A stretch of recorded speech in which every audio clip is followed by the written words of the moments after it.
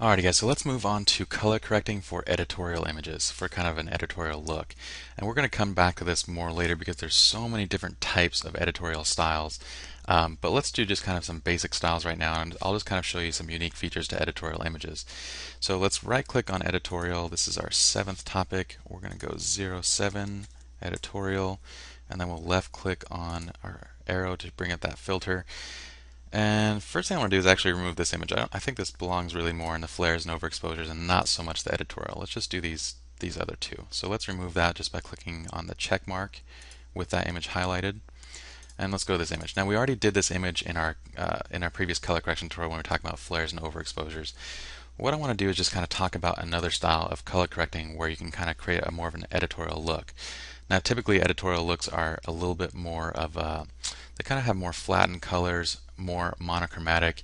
And again, there's so many different styles of editorial images, but this is just one style. And they're typically more gritty images. So what I'm going to do here is choose my adjustment brush, and I'm going to create kind of a detail enhancer. And we're going to create kind of like that, a little bit of a gritty feel. So what I'm going to do is raise my contrast a little bit. I'm going to raise up my clarity quite a bit, and also raise up my sharpness a bit. And then we're going to take this and drag it over the entire image. And then it's it's okay if we go over skin tones because we're going to fix that up. So I kind of want to just make everything pop a little bit. I'm going to bring up the clarity a little bit more, bring up maybe even a little more sharpness, just kind of give it a little bit of that gritty detail. And then I'm going to hold down Alt and minus it out of the skin areas. It's okay if we leave it in the hair. So I'm just going to minus it from her skin and from his skin so we don't kind of create some funky skin tones.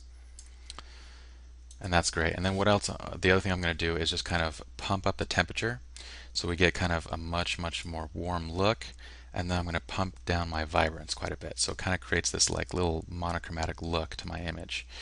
So this is kind of an example. I'm going to reduce the uh, brightness just a little bit and actually add a little bit more color or contrast, sorry. And then a little bit more on the uh, recovery as well, just to kind of flatten out the highlights on her face. And uh, this is kind of an example of what an editorial image would kind of look like. Just a little more gritty, a little more monochromatic. It kind of has that kind of feel to it. So again, there's tons of different styles of that. So let's just consider this one style of editorial image. This scene is also set up with kind of editorial lighting. It's kind of more uh, dynamic lighting with hard light from the left side with a, a backlight flare coming through. So it kind of has to work with each scene too. So we're going to save this um, as a new snapshot. Let's call this uh, color corrected, but we'll just call it editorial color correcting. Again, we'll get to more editorial looks when we get to the kind of the advanced effects and the artistic effects and stuff like that. But for now, this is kind of just a basic color correction tutorial on on that uh, on editorial images. All right, so because this image is an overexposure, again, we need to first work on the exposure, and uh, we're going to really bring down the exposure settings while pumping the blacks to kind of bring back the contrast in the image.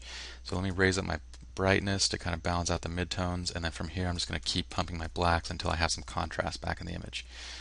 And you'll see that this image is kind of set up with that kind of editorial lighting again. We're using cross lighting in this scene with a, a flash from the right as well as a hard light coming from the left. Um, so that's what's kind of giving it that look. And from here I'm going to, let's do a white balance check on a shirt. We're going to save two versions of images. That did not work. Let's just leave it there and just kind of adjust manually. I'm going to do two versions of this image. One is going to be just the standard color corrected, and we'll do one uh, just a color corrected editorial kind of look. I think there's a little bit too much greens in their skin, so I'm just going to reduce that.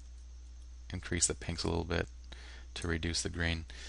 And that's good. I'm going to pump up my uh, recovery just to kind of smooth out the highlights on the skin tones. I think about 60 is good.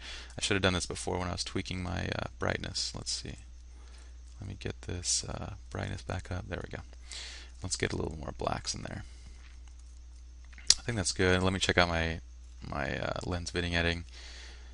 And I think it looks better with this image if I just kind of pull it in and darken up the edges a little bit. So I'm just going to darken up. I don't want to darken up to the point where it's covering her skin, so I'm just going to pull out the midpoint until I'm not covering any skin, basically. And I'll continue to darken it a little bit more. Just kind of create a very, very dramatic feel to the image. I'm going to raise my vibrance as well as my clarity a little bit. I think that's good. Let's zoom in and just kind of fix up our our uh, sharpening a little bit and then let's save that out as our first setting that's great alright so this is just our color corrected setting this is a bit on the warm side but I kinda like it a little bit warmer so that's fine And let's do our editorial color correction now. We're going to do kind of the same thing. We're going to bring back that, uh, actually I think I already have the detail brush, all the settings dialed in, so we're just going to paint over. And that looks fine. If I want to, I'm going to subtract it out of the skin again. But I do want to have a little bit of grit in the skin. I don't want it to be completely soft.